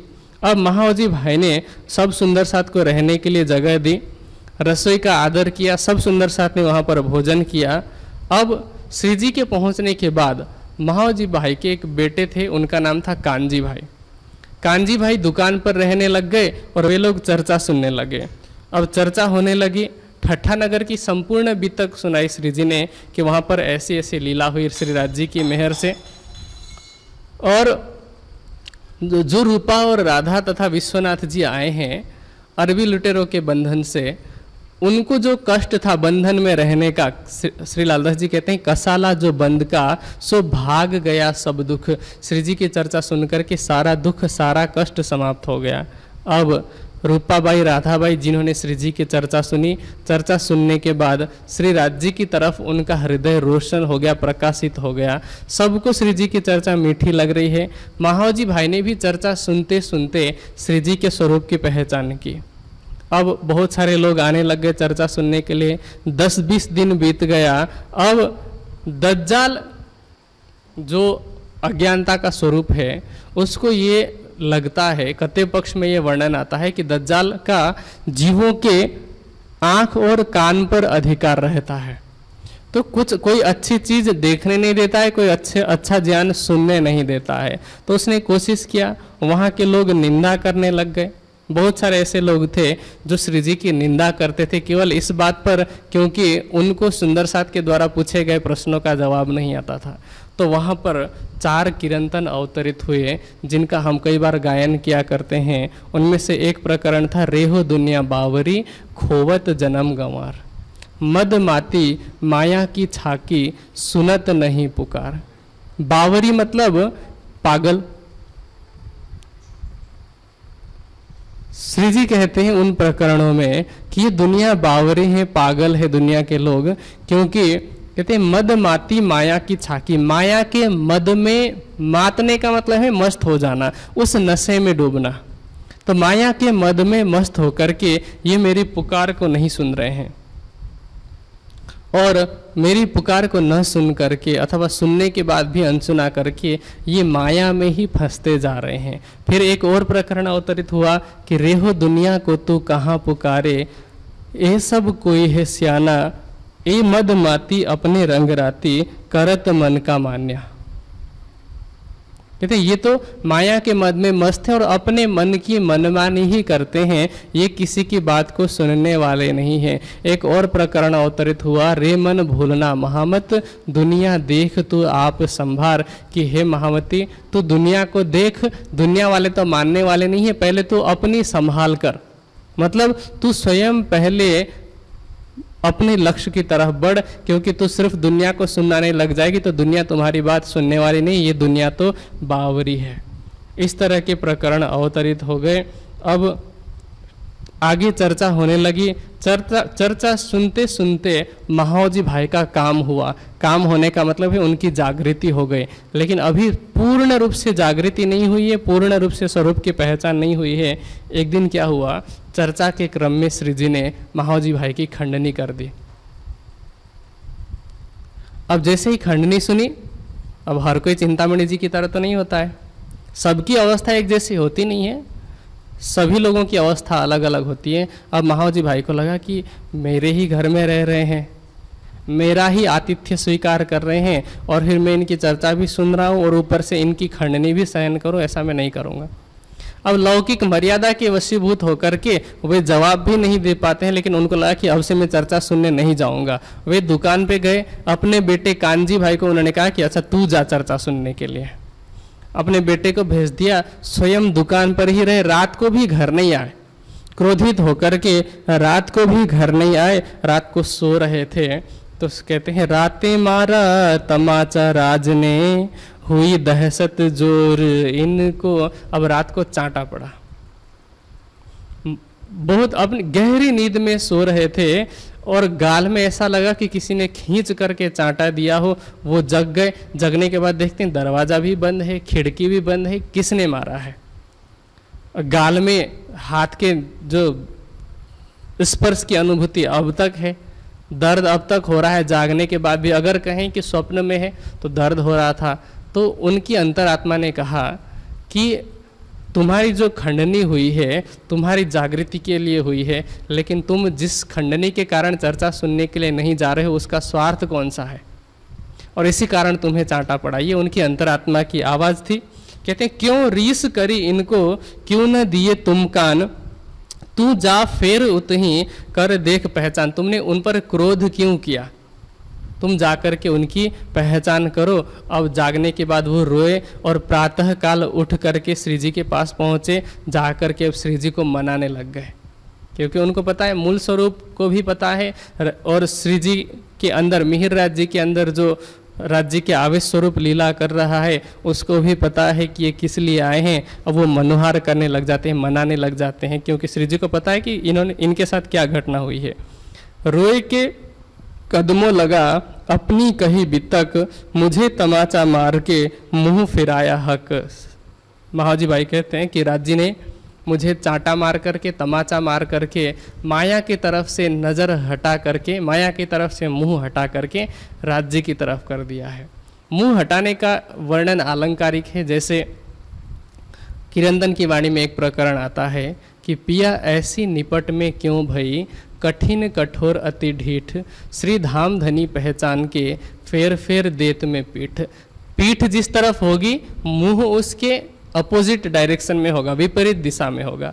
धामधनी की तरफ़ अगर पीठ देंगे तो माया की तरफ़ मुँह होगा। लेकिन अगर हम मुँह माया की, मुँह माया से मोड़ करके राज्य की तरफ़ करते हैं धामधनी की तरफ़ करते हैं तो पीठ स्वाभाविक रूप से माया की तरफ़ हो जाएगी। तो यहाँ मुँह फिराया हक का तात्पर्य है कि राज्य की तरफ़ देखा और माया को पीठ दे दी। फिर कहते मैं खंडनी सुन के होए गया बेजार। बेजार अर्थात दुखी। आपके द्वारा हुई खंडनी को सुन करके मैं दुखी हो गया था क्योंकि मैं तो सुंदर साथ में कच्चा था और ना पहचाना परवर दिगार मैंने आपके स्वरूप की पहचान नहीं की थी।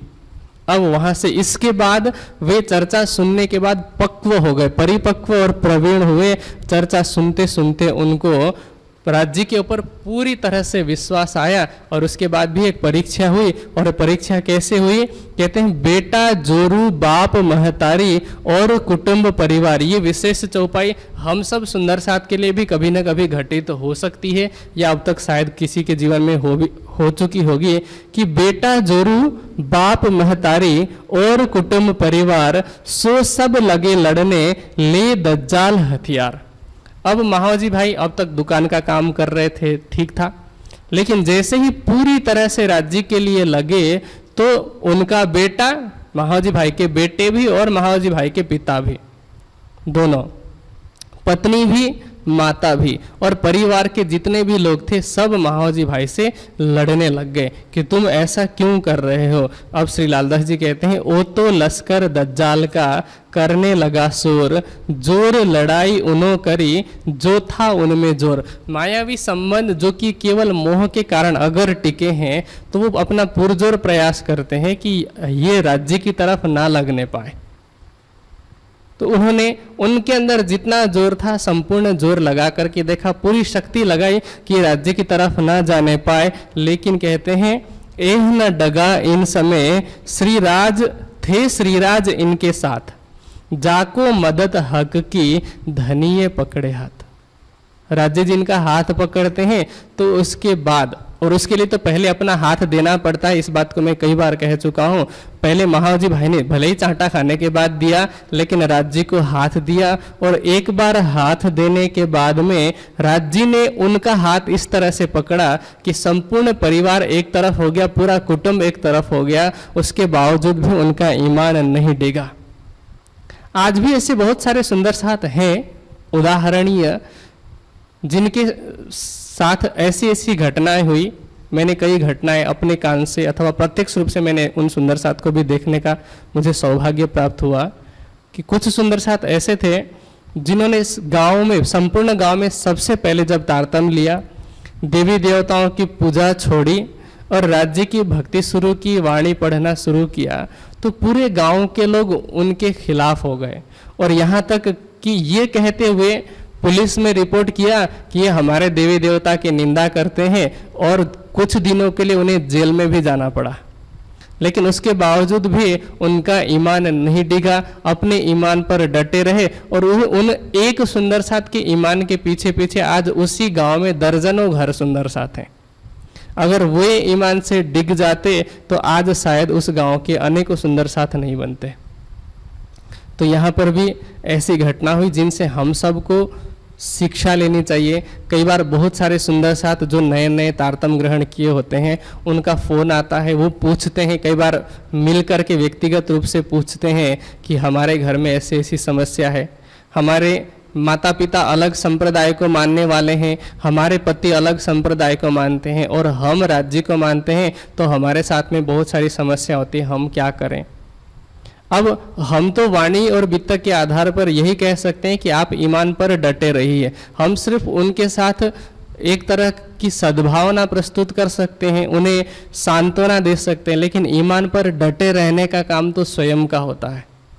हाँ कोई दूसरा व्यक्ति उसमें साथ दे सकता है, सपोर्ट कर सकता है, लेकिन अगर किसी के अंदर ही ईमान नहीं है, हृदय में ही नहीं है तो बाहर कितना भी समर्थन मिले, वो फिर ईमान से फिसल जाएगा।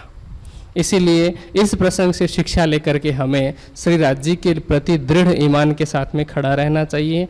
अब वहाँ पर बहुत सारे सुंदर साथ जो आए थे मस्कत में, उन सब सुंदर साथ का नाम यहाँ ले रहे हैं, जिसमें विशेष रूप से सबसे पहले विश्वनाथ जी का नाम लिखा है, उसके पश्चात रूपाबाई, राधाबाई और उसके पश्चात बहुत सारे ऐसे सुंदर साथ हैं जो मस्कत में आकर के मिले।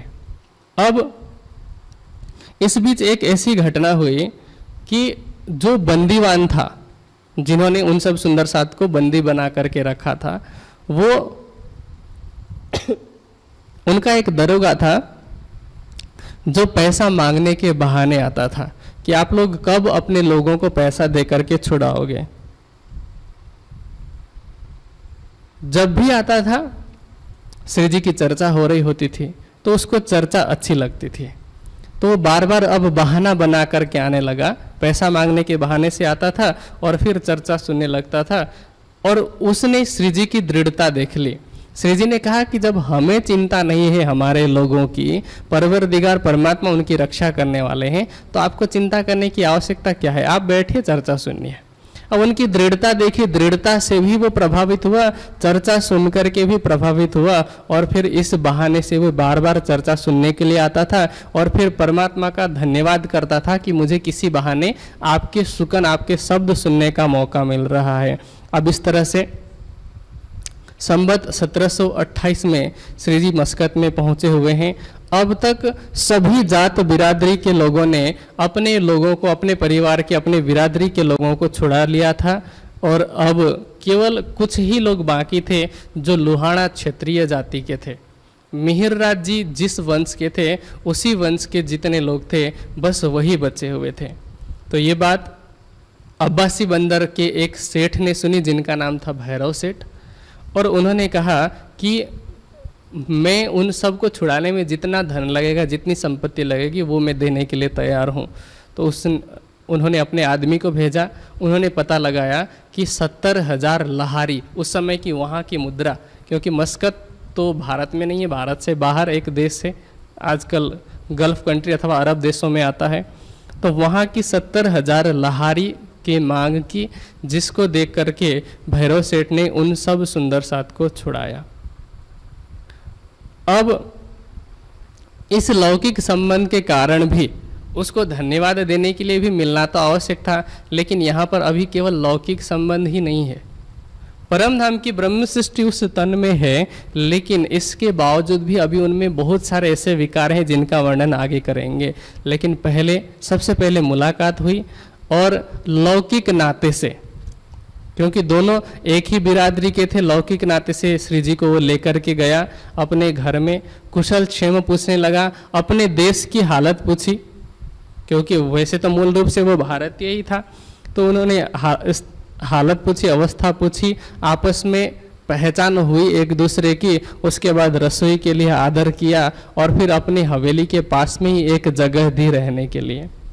अब वहाँ पर कुछ सुंदर साथ भी हैं श्री जी के साथ जो जगह दी, वहाँ पर बिछौना लगा करके, बिस्तर लगा करके श्री जी पधराए हुए हैं। एक तरफ़ रसोई हो रही है अभी। भोजन तैयार हो रहा है और उस समय का भी सदुपयोग करके श्री जी चर्चा करने लग जाते हैं। और उस चर्चा के क्रम में भैरव सेठ सबसे आगे बैठते हैं और आगे बैठ करके अपने पूरे परिवार के साथ में आगे बैठे हैं और फिर चर्चा सुनने लग गए। ब्रज लीला की चर्चा होने लगी। अब उस चर्चा को सुन करके उन्हें बहुत सुख हुआ। दो प्रहर तक चर्चा हुई।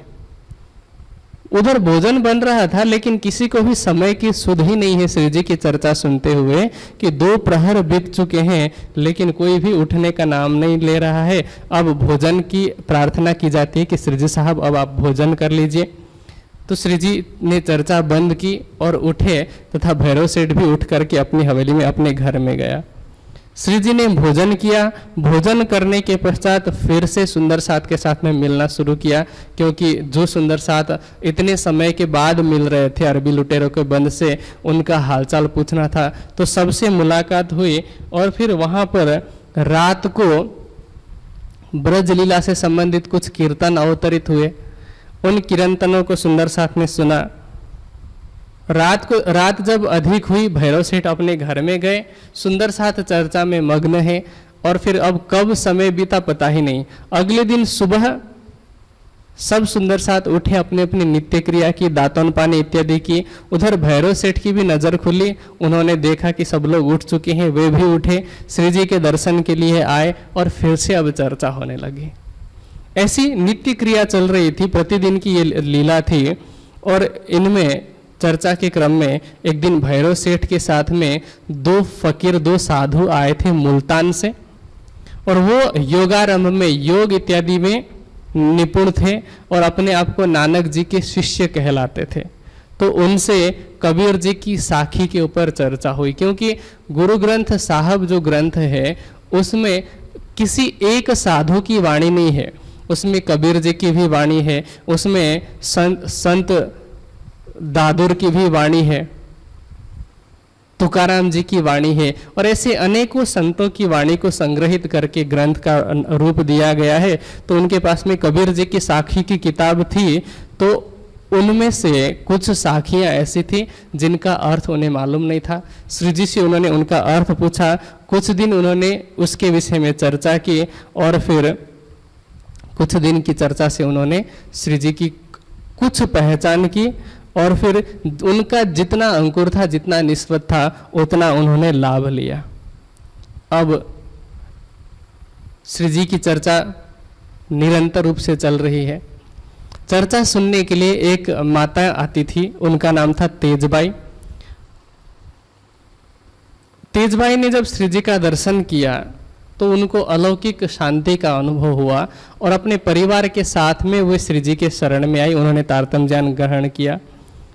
श्री जी के द्वारा अवतरित होने वाली कीर्तन की वाणी उनको मीठी लगने लगी तो अब निरंतर वो चर्चा सुनने के लिए आने लगी। ऐसा लगा कि घर को उन्होंने पूरी तरह से छोड़ दिया हो, वे तो हमेशा चर्चा के, चर्चा में ही बैठी रहती थी।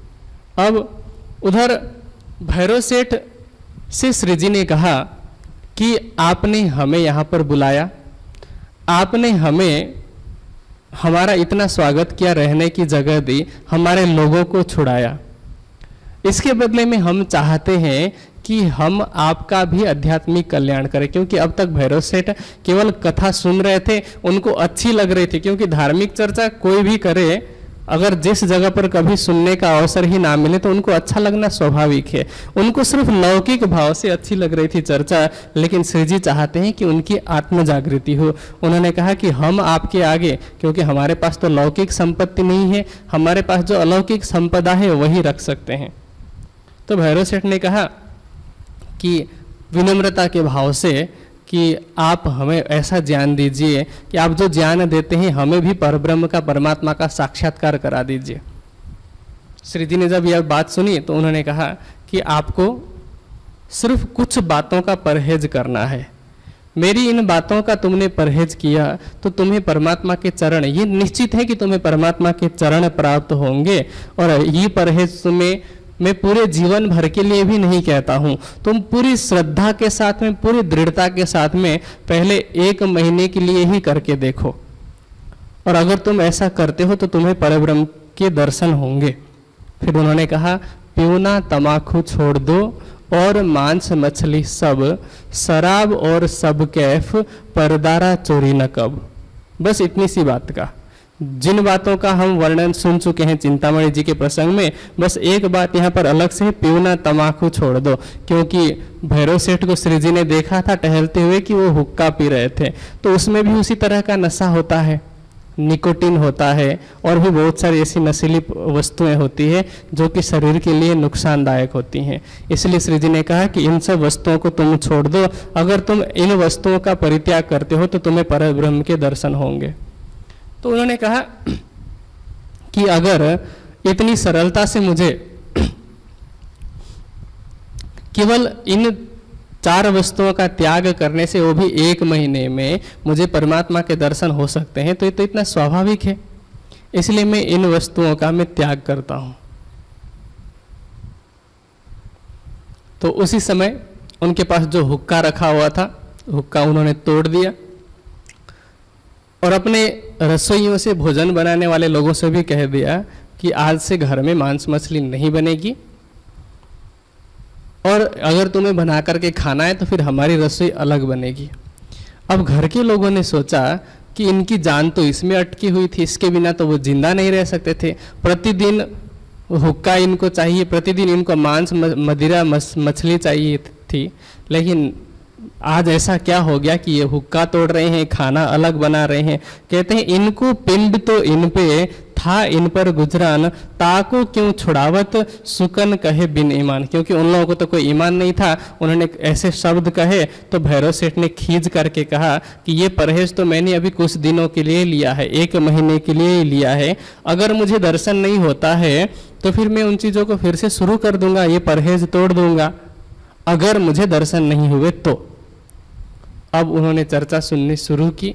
पूरे विश्वास के साथ में चर्चा सुनी। दो दिन हुआ, तीन दिन हुआ और फिर तीसरे दिन चर्चा सुनते सुनते वे खड़े हो गए। श्री जी को प्रणाम किया और फिर विनम्र भाव में कहा कि मैं जन्म भर को छोड़िया, ए चारों वस्त निषेध वस्त भई मोहे प्राप्त, पाया माया माहे भेद, माया में रहते हुए, हे धामदनी आपकी कृपा से मुझे माया में वास्तविक वस्तु की प्राप्ति हुई इसलिए अब मैं इन चारों वस्तुओं का जिनका मैंने केवल एक महीने के लिए त्याग किया था अब मैं पूरे जी, जीवन भर के लिए जन्म भर के लिए त्याग करता हूँ। और जैसे ही भैरव सेठ सुंदर साथ में शामिल हुए तो ये खबर पूरे शहर में फैल गई। अब इस बात को देख करके दज्जाल वहाँ पर भी पुकारने लग गया। अब बहुत सारे लोग वहाँ पर चर्चा सुनने आने लग गए। इनमें से एक थी सखी बाई जी, और उनके साथ में गोवर्धन जी आए। अब उनको देख करके वहाँ के जो परिवार के लोग थे, वहाँ के जो भंडसारी लोग थे, व्यापारी थे, वे निंदा करने लग गए। सबसे पहले जाकर के भैरव सेठ से लड़ाई की कि तुम्हारी वजह से हमारे घर की महिलाएँ आती हैं तुम्हारे घर में कथा सुनने के लिए और फिर इनके कारण, क्योंकि हमें, हम तो दिन भर घर का काम करते हैं, व्यापार का काम करते हैं, ये सुबह ही शाम का भी भोजन बना करके आ जाती हैं, जिसकी वजह से हमें रात को ठंडा खाना मिलता है, हमें ताज़ा खाना भी नहीं मिलता है, इसके, इसका मूल कारण तुम हो। मेरे सेठ कहते, मैं तो किसी के घर बुलाने गया नहीं अगर तुम्हें रोकना है तो अपनी पत्नियों को रोको, अपने घर वालों को रोको, मुझे क्यों रोक रहे हो? मैं किसी के घर बुलाने के लिए थोड़ी जाता हूँ। और जो अगर मेरे घर में आ जाती, मैं उनको भी मना नहीं करूँगा कि तुम मेरे घर मत आओ, क्योंकि मेरे घर में तो भगवान की चर्चा होती है, परमात्मा की चर्चा होती है, जिसके लिए किसी को रोकना नहीं चाहिए। अगर तुम आड़े आना चाहते हो तो तुम मना करो उन्हें। अब उन्होंने अपने, अपनी पत्नियों से लड़ाई शुरू की। उन्होंने कहा कि तुम उनके घर क्यों जाती हो चर्चा सुनने के लिए। अब सबकी पत्नियों ने, सभी महिलाओं ने जवाब दिया कि एक तो हमारे देश में, अरब देश में साधु संत बहुत मुश्किल से आते हैं। और दूसरे, ये आए हैं तो भी तुम चर्चा सुनने के लिए नहीं जाने दे रहे हो। तुम सब हमारे शरीर के ही तो पति हो। हमारी आत्मा के प्रियतम परमात्मा की हम चर्चा सुनने के लिए जाते हैं। अगर तुम्हें रोकना है तो हमें शरीर हमारे शरीर को ही रोक सकते हो। लेकिन अगर तुम हमें घर में बंद भी कर दोगे तो भी हम आत्मा से चर्चा सुनने के लिए ज़रूर जाएँगे। अब तेजबाई जिनके नेतृत्व में सभी महिलाएँ जाती थी। नेतृत्व तो खैर नहीं करती थी, लेकिन सब उनके साथ में जाती थी। उनको लगा कि अगर हम इनको मना करेंगे, तेजबाई नहीं गई तो कोई भी नहीं जाएगा। तो उन सेठों ने, उन व्यापारियों ने जाकर के तेजबाई बुढ़िया से कहा कि तुम वहाँ पर मत जाया करो। तुम्हारी देखा देखी हमारे घर की सारी महिलाएँ जाती है, जिसके कारण हमें ताज़ा खाना भी नहीं मिलता है। तो तेज भाई ने कहा, तुम अपनी पत्नियों को मना करो। हमें मुझे क्यों मना कर रहे हो? मेरी तो पूरी आयु माया का काम करते हुए गुजर गई है। अब इस वृद्धावस्था में भी अगर मैं धर्म नहीं करूँगी, वृद्धावस्था में भी मैं चर्चा का लाभ नहीं लूँगी, आत्मिक लाभ नहीं लूँगी तो कब लूँगे? अब इस तरह से कोई भी उन लोगों की बात सुनने वाला नहीं था तो अब उनके पास कोई उपाय नहीं बचा और खींच करके उन्होंने ये सब सबको मना करना उन्होंने छोड़ दिया। अब इसके बाद बहुत सारे ऐसे सुंदर साथ हैं जो आए हैं, क्योंकि अब रोकने वाला कोई नहीं था। उनका नाम ले पाना संभव नहीं है। बहुत सारे सुंदर साथ हैं। श्री लालदास जी कहते हैं, और साथ बहुत हैं, सो केते ले नाम, आगे ज़ाहिर होएँगे जो दाखिल निजधाम सुंदर साथ में शामिल तो बहुत हुए, लेकिन जो वास्तव में जिनकी सुरता परम धाम में पहुँची, जिनके अंदर वास्तव में परम धाम की ब्रह्म सृष्टि थी, क्योंकि सभी परम धाम की ब्रह्म सृष्टि नहीं है। पाँच हज़ार की जमात परमधाम में थी, जिनमें से पाँच सौ ही ब्रह्म सृष्टियों का वर्णन आता है। तो जो जो भी प्रमुख ब्रह्म सृष्टियाँ थी, कहते हैं, आगे ज़ाहिर होंगे आगे अलग अलग प्रसंगों में उनका नाम आएगा। तो अब आगे कहते हैं, यों चर्चा होने लगी, एक दूजे के संग साथ को आनंद भयो, अंग न माए उमंग। अब चर्चा होने लग गई है। क्योंकि अब रोकने वाला कोई नहीं है। चर्चा चितवनी उत्सव होने लगा ज़ोर। अब प्रतिदिन क्या होती है? चर्चा। सभी लोग चितवनी करते हैं और उत्सव, अर्थात जितने सुंदर साथ वहाँ पर चर्चा सुनने के लिए आते हैं तो भैरव सेठ के तरफ़ से रसोई होता है। सभी लोग भोजन ग्रहण करते हैं। भैरव सेठ सबका आदर करते हैं, क्योंकि आज से पहले वो एक सेठ थे और उस शहर के जितने भी लोग थे, वो उनके लिए अनजान लोग थे। लेकिन जब चर्चा सुनने के लिए आ रहे हैं, राज्य के साथ संबंध जोड़ने के बाद, अब सभी ब्रह्म सृष्टियों का आपस में भी संबंध है तो उस संबंध के कारण भैरव सेठ सबकी सेवा करते हैं, सबका आदर करते हैं। वहाँ पर दो तीन महीने तक श्री जी रहे। दो तीन महीने रहने के बाद रजा मांगी उन्होंने कि अब हम यहाँ से दूसरी जगह जाना चाहते हैं, सुंदर साथ की जागनी के लिए। तो सुंदर साथ कहते हैं, विशेष रूप से भैरव सेठ, कि आप हमें यहाँ पर छोड़ कर के कैसे जा सकते हैं? कृपया हमें छोड़ कर के मत जाइए, क्योंकि हमारी सुरता तो अब आपके साथ बंध चुकी है, हम आपको नहीं छोड़ना चाहते। श्री जी ने सोचा कि अगर हम एक दो, एक बरस और यहाँ पर रहे तो हो सकता है कि कुछ लोग और जुड़ जाएँ, लेकिन हमारा काम तो बहुत बड़ा है। एक जगह पर रह करके दो चार नए लोगों को जोड़ना एक जगह पर साल साल भर रह करके ये हमारा लक्ष्य नहीं है। ऐसे दो चार नए लोग तो ये सुंदर साथ भी जोड़ सकते हैं, लेकिन हमारा लक्ष्य क्या है? कह रहे हैं, बात बड़ी है करनी, आवे साकुंडल साकुमार विस्तार हुए ब्रह्मांड में, जाको वार न पार। जब साकुंडल और साकुमार आएँगे, हमें इतना बड़ा काम करना है कि उनके आने के बाद, उनके जागृत हो जाने के बाद ही उनके द्वारा इस संसार में परब्रह्म के ज्ञान का तारतम ज्ञान का विस्तार होगा। और अगर हम एक ही बंदर अटके, क्या राज करना इत ये तो हमें ना छोड़त, आज इन बखत कहते हैं कि अब धामधनी को मूल स्वरूप को अर्जी कर रहे हैं कि राज जी अगर हम एक ही बंदरगाह में अटके रहेंगे तो साकुंडल साकुमार की आत्म जागृति नहीं हो पाएगी और ऐसे तो ये सब सुंदर साथ हमें छोड़ने वाले नहीं हैं। अब ऐसा विचार करके जब मूल स्वरूप की तरफ़ नज़र किया, उन्होंने प्रार्थना की तो एक कारज कारण ऐसा बना राज्य ने ऐसा कारण बनाया। कहते हुक्म हुआ तागिर का, वहाँ नए की आमदान, वहाँ पर एक नए शासक का, नए सेनापति का आगमन होना था, जो कि हिंदुओं के लिए, दूसरे संप्रदाय के लोगों के लिए, दूसरे धर्म के लोगों के लिए अत्यंत क्रूर और कठोर था। भैरव सेठ ने जब ये बात सुनी, वैसे तो संपत्ति उनकी बहुत है, अपनी पहुँच का इस्तेमाल करके उन्होंने सोचा कि उसकी आमदनी, उसका यहाँ पर आना रोका जाए। बहुत भागदौड़ की, लेकिन ये संभव नहीं हो पाया। वो असफल हुए उसको रोकने में तो अब उनको संकोच हुआ कि हमने भावना में बह करके श्री जी को मना तो किया कि आप यहाँ से मत जाइए, लेकिन अगर ये जो नया शासक आ रहा है, नया सेनापति अथवा कोतवाल आ रहा है अधिकारी आ रहा है, अगर इसने श्री जी को कष्ट दिया, हमारे रहते रहते अगर ये श्री जी को कष्ट देता है, हम मना भी नहीं कर पाएँगे, हमारे अधिकार में कुछ नहीं है, न हमारे पास इतनी फौज है कि हम रक्षा कर पाएँगे तो हमारे रहते रहते अगर हमारे सामने कुछ हुआ, उसको हम सहन नहीं कर पाएँगे। तो उन्होंने संकुचित, संकोच करते हुए श्री जी को कहा कि श्री जी साहब अगर ऐसा हो पाया तो हम आपको यहाँ पर हम आपकी सुरक्षा कर पाने में असमर्थ हैं इसलिए आप कृपया यहाँ से चले जाइए। अब चूँकि श्री जी तो अंदर ही अंदर जानते हैं कि मूल स्वरूप का ये हुक्म है स, अब जितने सुंदर साथ वहाँ के थे मूल निवास स्थानीय वो वहीं पर रह गए और बाकी जितने सुंदर साथ थे श्री जी के साथ वाले और जितने सुंदर साथ को अरबी लुटेरों के बंधन से छुड़ाया था उन सभी सुंदर साथ ने रजा मांगी तब सब सुंदर साथ ने उनको विदा दी और विदा देते हुए वस्त्र, आभूषण और पैसे, जिनकी जैसी क्षमता थी। भैरव सेठ ने अपनी क्षमता के अनुसार तथा अन्य सुंदर साथ ने अपनी क्षमता के अनुसार श्री जी तथा समस्त सुंदर साथ को वस्त्र, आभूषण और पैसे इत्यादि दे करके वहाँ से विदा किया, जिनका जैसा अंकुर था। ब्रह्म सृष्टियों का जैसा संबंध था उन्होंने वैसा ही लाभ उठाया। ईश्वर सृष्टि ने वैसा ही लाभ उठाया। जीव सृष्टि ने भी लौकिक संबंध की पहचान करके वैसा ही लाभ उठाया।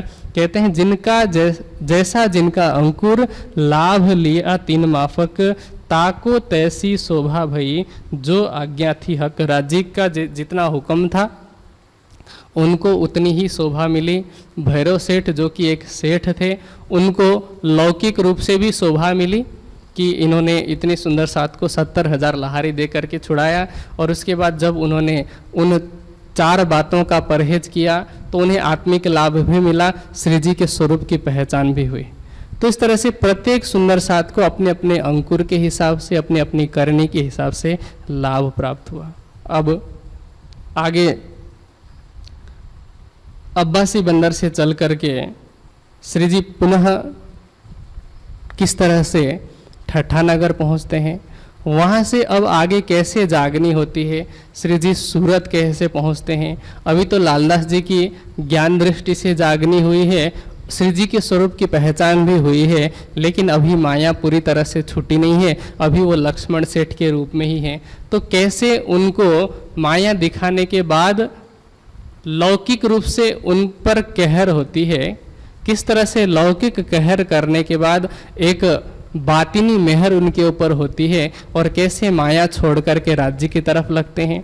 श्री जी किस तरह सूरत पहुँचते हैं? सूरत में कैसे वेदांत दर्शन के प्रकांड विद्वान भीम भाई, भागवत के प्रकांड विद्वान श्याम भट्ट तथा गोविंद व्यास जैसे लोगों की जागनी होती है और किस तरह से इससे पहले भी अन्य बहुत सारी घटनाएँ हैं जिसमें बिहारी जी से अभी मिलाप होगा। किस तरह से अब तक श्री जी जब भी कोई नया सुंदर साथ बन रहा है, सबको बिहारी जी के पास भेजते हैं, लेकिन अब आगे कैसे जा कर के दो अलग अलग रास्ते हो जाते हैं? श्री जी और बिहारी जी दोनों के रास्ते कैसे अलग हुए? ऐसा क्या कारण बना जिससे कि दोनों को अलग होना पड़ा? इन सब की चर्चा सुनेंगे हम आगे कल से। अब समय पूरा होता है, चौपाई दो रहिए श्री महामती कहे, ए मोमिनो, ए अब्बासी बंदर की बीतक,